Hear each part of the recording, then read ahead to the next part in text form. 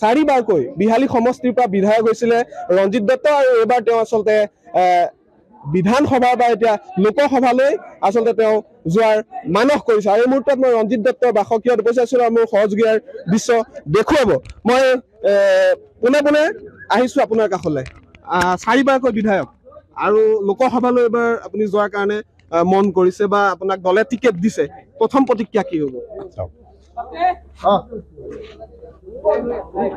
শোণিতপুৰ সংসদীয় সমষ্টিৰ পৰা ভাৰতীয় জনতা পাৰ্টীৰ প্ৰাৰ্থী হিচাপে মোক প্ৰাৰ্থিত্ব দিয়াৰ বাবে মই প্ৰথমতেই মোৰ কৃতজ্ঞতা আৰু শ্ৰদ্ধা জ্ঞাপন কৰিছোঁ ভাৰতবৰ্ষৰ যশস্বী প্ৰধানমন্ত্ৰী নৰেন্দ্ৰ মোদী ডাঙৰীয়াক আমাৰ ৰাষ্ট্ৰীয় সভাপতি জে পি নড্ডা ডাঙৰীয়া আমাৰ কেন্দ্ৰীয় গৃহমন্ত্ৰী অমিত শ্বাহ ডাঙৰীয়া আৰু লগতে আমাৰ অসমৰ জনপ্ৰিয় মুখ্যমন্ত্ৰী ডক্টৰ হিমন্ত বিশ্ব শৰ্মা ডাঙৰীয়া ৰাজ্যিক সভাপতি ভৱেশ কলিতা ডাঙৰীয়াক মই আন্তৰিক কৃতজ্ঞতা আৰু ধন্যবাদ জ্ঞাপন কৰিছোঁ।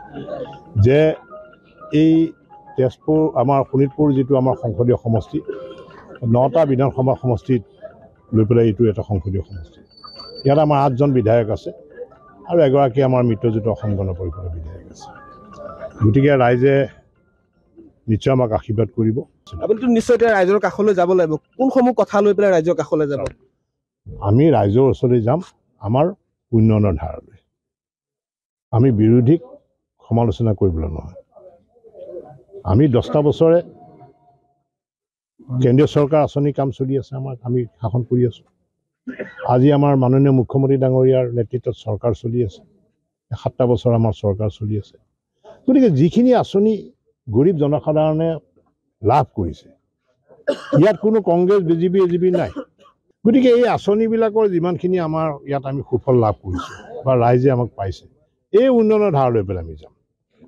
যদি আপুনি নিৰ্বাচিত হয় তেতিয়া আপোনাৰ সপোন কি আছে? কিবা সপোন আছে নেকি যে হয় আপোনাৰ সমষ্টিটোত কিবা এনেকুৱা ধৰণৰ কাম কৰিম? মই এতিয়া মোৰ সমষ্টিৰ কথা চিন্তা কৰিলে নহ'ব। মই যেতিয়া মেম্বাৰ অফ পাৰ্লিমেণ্ট হ'ম মই নটা নটা সমষ্টিৰ কথাই চিন্তা কৰিব লাগিব। হয় ইয়াত সমস্যা আছে। আৰু আমি ডেভেলপমেণ্টৰ কাম কৰিব লাগিব। আমাৰ বানপানী নদী গৰাখহনীয়া সমস্যা আছে। আমি সমস্যাৰ সমাধান যে আমি এশ শতাংশ কৰিব পৰা নাই সেইটো ঠিক। বিভিন্ন সমষ্টিবিলাকত বিভিন্ন সমস্যা আছে। এতিয়া আপোনাৰ ৰেল আমাৰ ৰেলৰ ইয়াত ধৰক এতিয়া ৰাজধানী এক্সপ্ৰেছন আমাৰ ৰখোৱা নাই।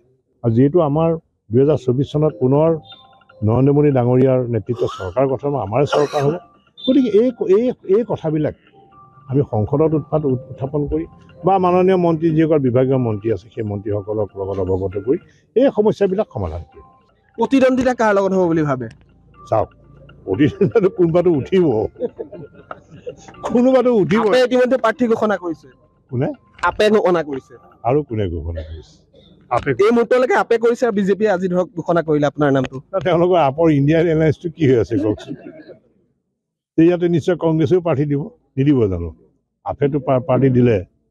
গতিকে প্ৰতিদ্বন্দ্বীটোক আমি প্ৰতিদ্বন্দ্বীক আমি শক্তিশালী বুলি ভাবিব লাগিব।